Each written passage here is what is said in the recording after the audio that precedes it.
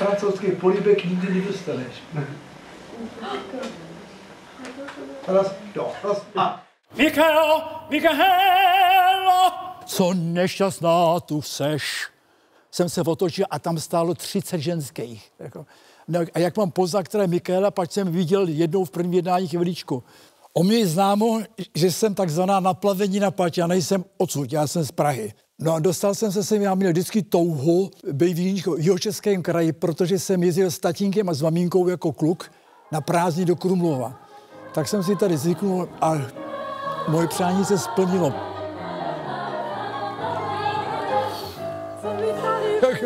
Dobrý den. Dobrý den. Všecko slyším, všechno slyším. Pochopíte, do školy jsem v Praze ve Vršovici a chystal jsem se prostě, že půjdu na gymnázium a po gymnázium jsem chtěl na Vysokou lesnickou. No ale osud rozhodl jinak, protože v deváté třídě, tři měsíce před závěrečnými zkouškama, mě vyhodili z pioníra. To byl hrozný malér, pochopitelně. Tak mi zrušili přihlášku na gymnázium, no ale pak paní učitelka Kavánková, jako, tak se jí nade mě zželalo, zařídila to, že jestli půjdu na uměleckou školu, takže prostě to doporučení od školy dostanu. No jo, on byl květen, v přijímací zkoušky byly v březnu, ale bylo by mi to houby platný, poněvadž na to, aby mě vzali na konzervatoř, na to jsem, na to jsem neměl. Tak jsem teda přes prázdniny cvičil, co, co se dalo a v srpnu jsem dělal dodatečné zkoušky na pedagogickou hudební školu. No, tam jsem byl přijat. No. no tak jsem se, celý rok jsem se snažil a na konci toho roku jsem pak dělal zkoušky na, na konzervatoř a byl jsem přijat. Koupil jsem si literární noviny, sedl jsem si na kladr před školou a čtu Joševské divadlo hledá prostě violistu. Mazal jsem teda do Českých Budějovic dělat konkurs do orchestru. Přijeli mě, taky jsem pamatuju, jako dneska tam byla kolegyně, říká, že to je 13 let, říkám, to já vydržím ještě díl. A to jsem ještě nevěděl, že mám pravdu.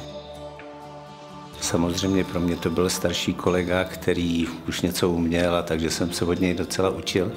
Já jsem obdivoval jeho hudební nadání, protože je to výborný muzikant, on hrál tuším na violu.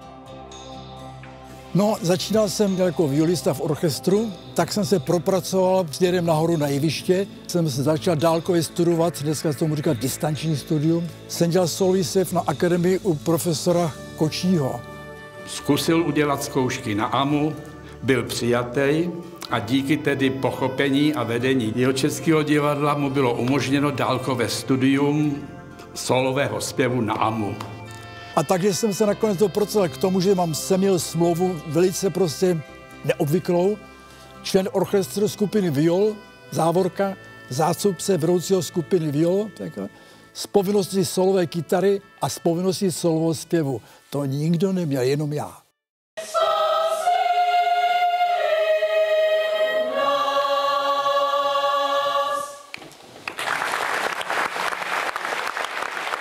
No a přišla doba, že jsem z orchestra opustil úplně a byl jsem pouze solistou, což mělo nějaké výhody, nějaké nevýhody. Stále hlídací životosprávu, aby člověk nenastit, aby večer mohl zpívat, aby to šlo. Pak ono to občas nebyla legrace. Z kraji, dokud jsem zpíval malé role, tak to člověk odspíval i na stýdlí, ale později, když jsem zpíval hlavní role, tak to nebylo jen tak. Já osobně považuji za jeho vrcholný výkon nebo za jeho snad životní roli, to byl Dalibor ve stejnojmené Smetanově opeře. Sto ďáblů, tak tady pojď se být a tasí. Tady v těch místech to bylo. Tak jsem tasil a zůstal mě v rukách akorát rukovět od té šavle a šavle zůstal prostě v pouzdře nabitý divadla úplně se slyšíte najednou jako, jako mrtvolné ticho doslova, než se lidi začnou chechtat. Nápad jsem dostal, ale fan fan tulipán, skočil jsem židli a bojoval jsem židlí. No tak všechno někdy musí skončit, tak končil jsem i já to, čím to bylo v roce 93, když mi bylo kulantně řečeno, že prostě už nemám věk na to, abych mohl ty mladý kluky, což měli pravdu, takže dostanu půl úvazku. No pač jako každý chal jsem ješitnej, tak jsem se rozčil, dal jsem okamžitě výpověď, nastoupil jsem na hudební katedru Pedagogické fakulty v Budějovicích, kde jsem učil 14 let. No na fakultě, co je intonace? To je k tomu, aby když otevřou noty, tak aby si to zaintonovali prostě z not jako z novin. Studenti se lehce naučí všechny intervaly, ale kvartý či čtvrtý tón, jako, jim prostě dělá, dělá potíže a to nevím proč, to prostě není. Pak vždycky, když studentům člověk řekl jako hroznou blbost, tak to si pamatujou. Tak toho jsem se držel. Sečno, zaspejte balou tercí od toho, toho, toho. Prm, ty, uh, malou, uh, no, uh. Slečno, odkud jste? Z Český lípy. Máte tam kukačky? Máme. A jak dělá kukačka? Kuku, kuku, to je malá Tercie. no. Vedle své divadelní činnosti měl Otadubský ještě jednu velkou mimodivadelní aktivitu. Byl dlouholetým uměleckým vedoucím dětského pěveckého sboru Jitřenka. Pod jeho rukama prošly stovky dětí, kterým se vlastně dostalo hudebního vzdělání.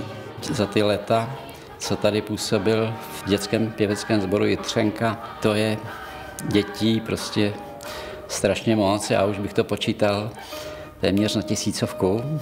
Já jsem měl motocykl a potřeboval jsem koupit si svíčku novou, jako zapalovací, tak jsem šel do krajinský do mototechny a za mnou stál nějaký Vašek Hraba, který byl zaměstnaný v krajské domě pionýru.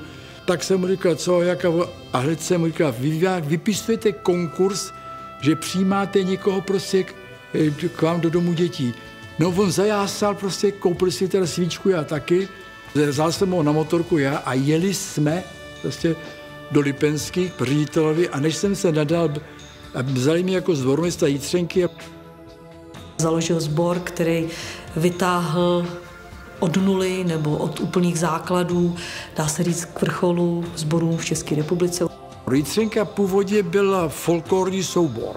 A když jsem přišel já, tak říkám, to byl ještě Vašek Hraba, tak to byl asi 20, 20 zpívajících dětí a beatová skupina, tak zpívají takový hit jako Já mám koně na balkóně v pátém poschodí, někdo na to divně kouká, no, no to. Tak to byly hity, které jsme prostě provozovali. Tak, dobrý den, holky. Totiž Tancuj, tancuj, to je nejslavnější hit, který můžete zpívat zahraniční paštovi. To zná každý. Jsou vzpomínky, které nejsou nejpříjemnější, ale i když nakonec dopadly výborně. Měli jsme vánoční koncert a koncert byl 25. prosince. Již 2. ledna jsem byl předvolán na krajský výbor strany a tam prostě mi byla myta hlava, že jsme zpívali nábožné prostě písně. Taky říkám prostě, Soudružko, ale to jsou lidové koledy, ty složil náš lid. A tu nábožnou, prostě církevní, na konci tichá noc, tu jsem vynechal. Nutno říct teda, že když se uváží, mě bylo 8, maximálně 29 let, když jsem začínal jako dělat zbormistra, takže děvčatům, kterým bylo 12, 13, 14, tak to jsou dneska důchodkyně. Jako. Tak je to překvapující, že znáte, že jsou malinký, klimbají také nohama, mají dva zuby. A, a najednou říkají, že jsou v důchodu tak je to takové překvapivé. Ale ono to utíká každému stejně, to je normální. Jak si, jo. Jenom když člověk eh, vidí v těch svých holčičkách, že si to pořád děti, oni nejsou, jak jsou, jsou to babičky, jak si. To jsme měli přijímací zkoušky do doplňovacího zboru, to je pro ty nejmenší. A maminka ty holčičky, byl sedm, říká, vy už jste učil naší babičku. Šlape, šlape, šlape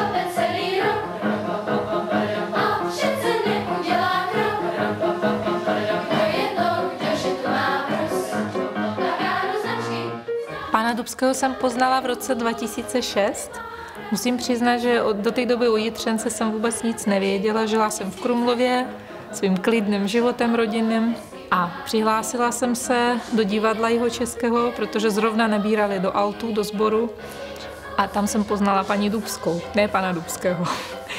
Když jsem absolvovala nějaký to kolo zpívání, tak paní Dubská vzala veškeré moje doklady a řekla, tady je obsazeno, ale běžte tamhle naproti, ukazovala mě směrem k domu děti, tam je můj manžel a ten na vás čeká.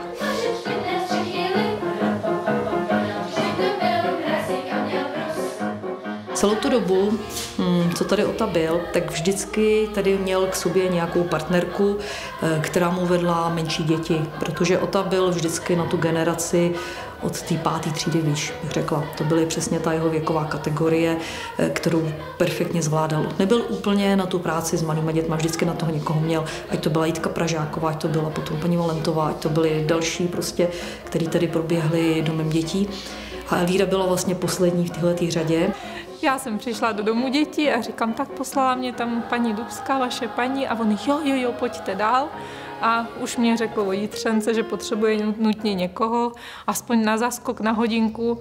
Z hodinky se pak vykloubaly dvě, Další rok pak jsem převzala malé děti a pak uh, už vlastně za čtyři, za pět let už, jsem, už jsme měli tu jítřenku na půl s panem Dubským a postupně, asi když jsem uh, byla jakoby už osvědčená, že jsem dobrá, že se k tomu hodím, tak pan Dubský rozhodl, že postupně to předá mě.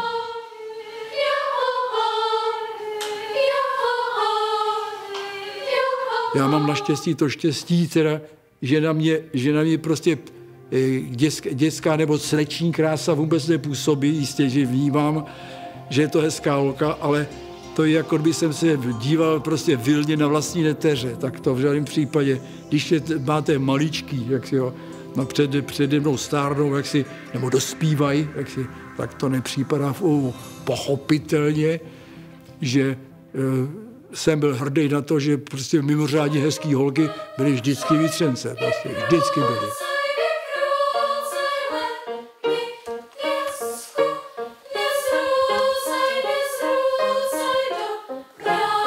as I say.